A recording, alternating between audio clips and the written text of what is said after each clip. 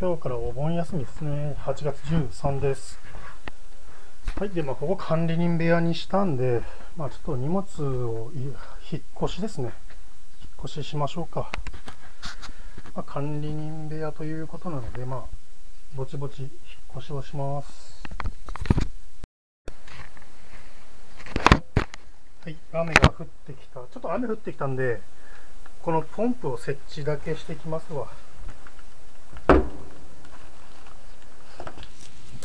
はい、イズルです、えーこの日はですね、雨が降ってきて、ちょうどあの、後ろですね、家の裏の、あの、用水路が溢れ返ってたから、ちょっとこれ水で抜かないとダメなんですよね。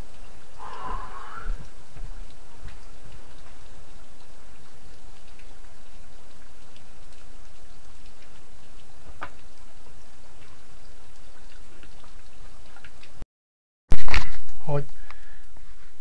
なんかね、電源コンセントの切り替えスイッチを入れるのを忘れてて、コンセント側ね、まあ生きてたんで、まあこれで頑張らします。まだまだやりますね。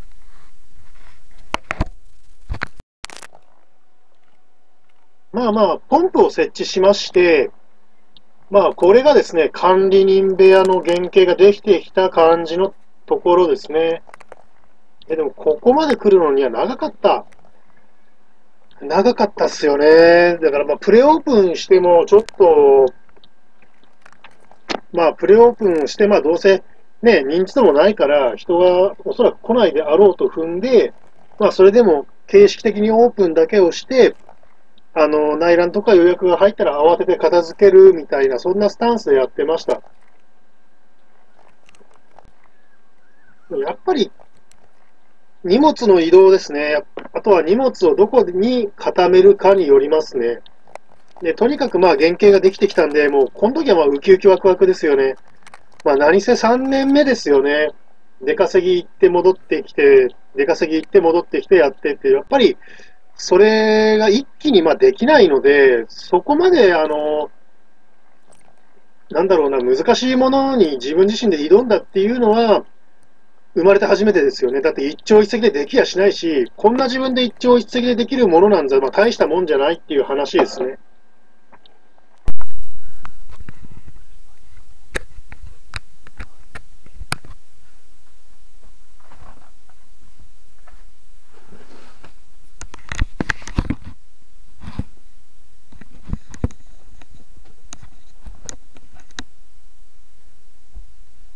はい。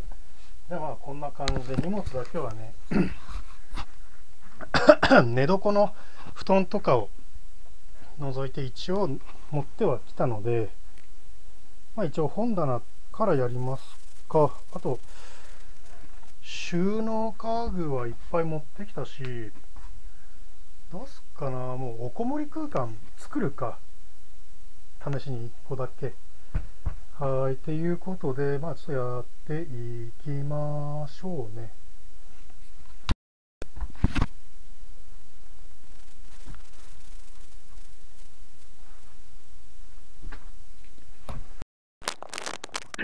はい、でですね、まあ、これらの収納家具ですけど、まあ、あの、ハードオフで僕がね、爆、バカ買いと爆買いと、まあ、大人買いをめちゃくちゃしましたね。多分あれ結構スッキリしたと思いますよ。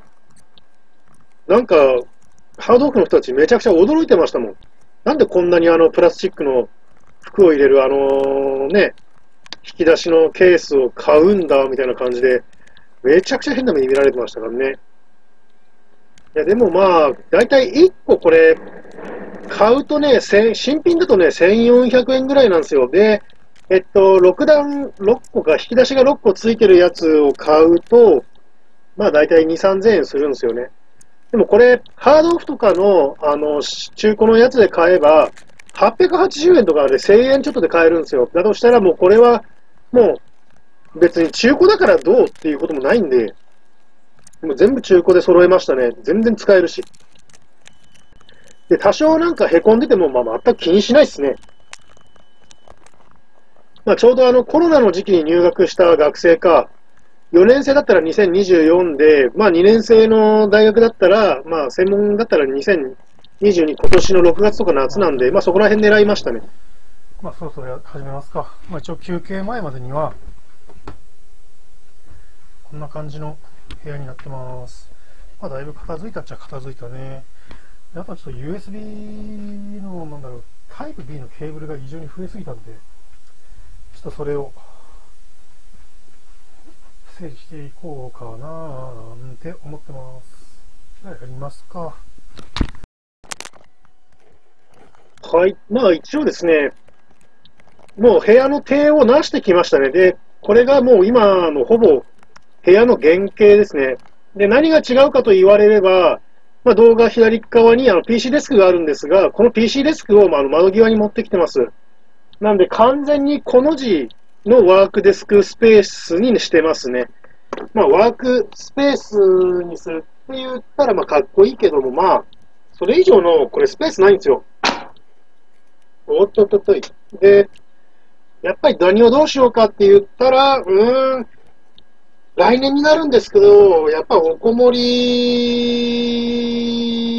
の空間は作らんとダメっすね。まあ収納力がめちゃくちゃあるんで、その分狭いくせに。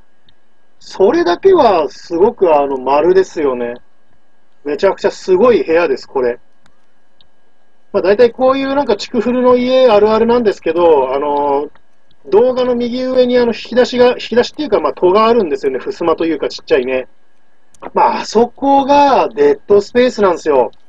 だって物出し入れするのには身長届かないし、まあ、それでね、奥に入れたら、あの、物出し入れするのもね、くっそめんどくさいから、で、それどうすんのって話ですよね。だからまあ、あそこはね、冬とか、えー、服ですかね。それのまたプラケースを買ってきて、えー、衣替え用の服を込む、もしくは今ちょっとあの草刈り機入ってるんですよね。で、その草刈り機とか、あの、まあ今納屋が大丈夫にはなってはきてるんで、えー、もうちょい納屋がね、えー、すっきりしてくれば、まあ、まあ、あとは納屋もちょっと水漏れっていうか雨漏れかな。トタンの穴開いてるんで、そこをなるべくあのボンドで塞いで、コーキングボンドで塞いで、まあ、ああいう濡れても大丈夫なよ、濡れないようなもの、まあ、草刈り機とか、そういうものを置いていこうかなって思います。まあ、正直ね、今ちょっと濡らしちゃったから、草刈り機も動くかどうか怪しいですね。まあ、もともとは去年、庭にあった柿の木をぶった切ってたあの枝切りチェーンソーですね。まあ、それがマルチツールとして使えるんで、アパッチ変えれば、あの、草刈りとしても使える、えー、そういうようなものになってます。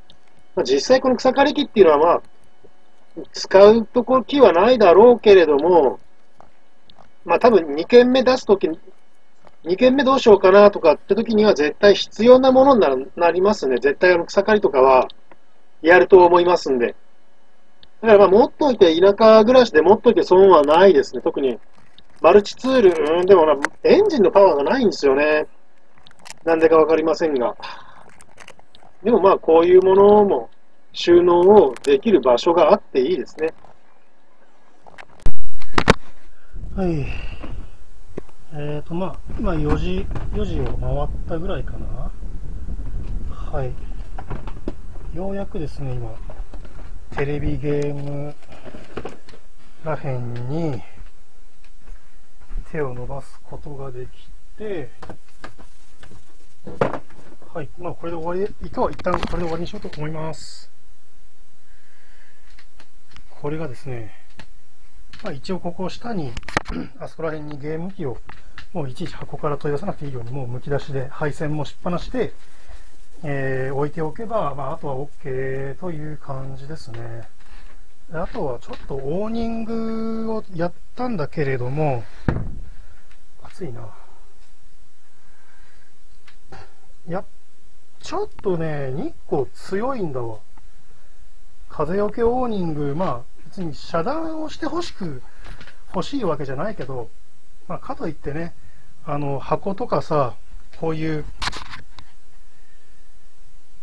あの、ソフトがね、日焼けしない程度には日光入ってほしいっていう、ちょっと、お前何言ってんのみたいなことはあるんだけど、ちょっと日光入りすぎても焼けちゃうから、こうやって本とかがね、だからそこら辺を、まあもうちょい、どうしようかなという感じです。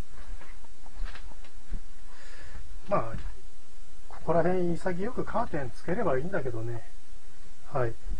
まあそんな感じで今日、まあ管理人の引っ越し、管理人部屋引っ越しはまあこんな感じでいいと思います。はい。いや、でもね、長かった。まあ、ようやく落ち着ける場所になったから、まあ、落ち着いていきたいんですよね。もう、さすがに疲れたんで。息つく間もなく流れたきた3年間みたいな感じです。えーまあ、ここまでして頑張って作ったんで、えー皆さんぜひ来てください。で、まあ、プレオープンは今月10、2022は、えー10月の20日までになってます。で、僕が出稼ぎ行くんで、それで締めます。まあ、短期滞在してみたいっていう人は Twitter で DM ください。バイバイ。